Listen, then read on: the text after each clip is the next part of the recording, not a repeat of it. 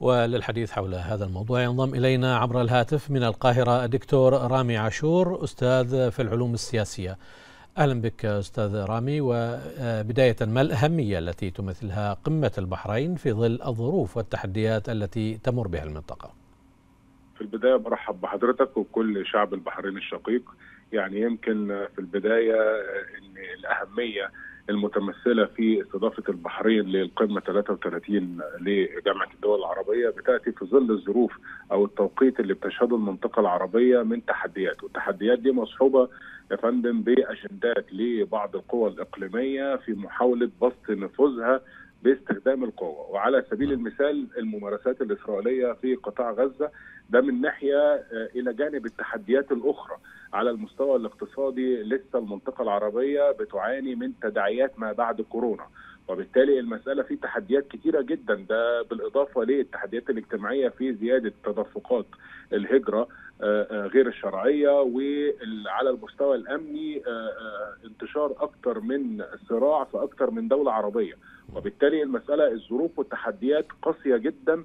يعني بتأتي استضافة البحرين للقمة دي في ظل تحديات وظروف قاسية وفي نفس الوقت مصحوبة بأمل وثقة من العالم العربي في الخروج بتوصيات غير مسبوقة، توصيات لها ثقة خاصة وإن الثقة هنا أو الأمل للشعب العربي نابع من قدرة البحرين على التمثيل القوي والإدارة القوية لمثل هذه الجلسات. خاصة وخليني أذكر السادة المشاهدين البحرين كانت بتترأس القمة العربية في 2003 اللي انعقدت في مصر في شرم الشيخ. نعم.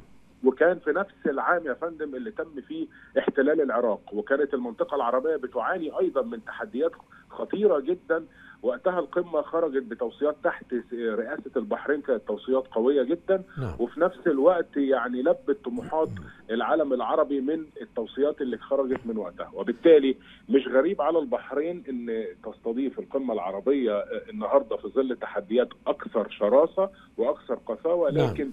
المسألة هنا الأمل العربي كبير جدا في قدرة البحرين خاصة وإن سمعة البحرين تتمتع البحرين بسمعة كبيرة إن هي دولة محبة للسلام وفي نفس الوقت بتبذل الكثير من الجهود للمحافظة على الهوية العربية نعم دكتور رامي حضور 22 دولة لأعمال القمة العربية يؤكد الحرص على تعزيز العمل العربي المشترك حيال مختلف هذه القضايا التي ذكرتها يعني كيف ترى ذلك؟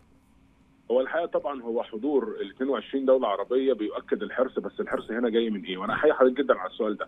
الحرص هنا جاي يا فندم من الاشتراك في التحديات، لأن دلوقتي المنطقة العربية بالكامل بتواجه تحديات مشتركة، والتحديات دي في جزء منها للأسف بيمثل تهديدات، وبالتالي المنطقة العربية هنا بتضع الأولوية لإيه؟ الأولوية إن طالما في تحديات مشتركة يبقى التحديات المشتركة دي بتستلزم التكاتف والعمل المشترك عشان كده حرص ال 22 دولة عربية للحضور في البحرين لحضور القمة هو بيمثل رغبة أكيدة من الإحساس بالتحديات والنية الصادقه للتكاتف والعمل المشترك وبالتالي نعم. عشان كده الرأي العام هو فعلا بينتظر قرارات غير مسبوقة على الأقل ترضي الطموح العربي ويعني تمتثل أو تناسب مكانة البحرين عند الشعب العربي. نعم من القاهرة دكتور رامي عاشور أستاذ في العلوم السياسية شكرا جزيلا لك.